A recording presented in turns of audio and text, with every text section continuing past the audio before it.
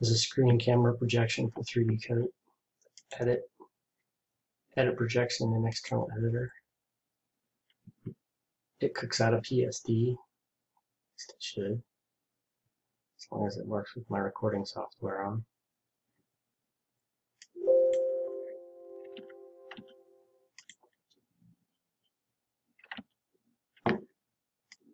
Shoot your PSD over here to Photoshop. And you can just grab whatever reference or whatever you're doing. Put it on there like this. In this case, I'm just blocking out some hair just so I have color that's consistent and sort of looks like color. Uh,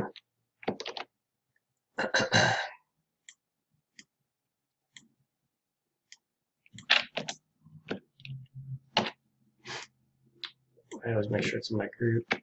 Save. Back here. Sticks it on there.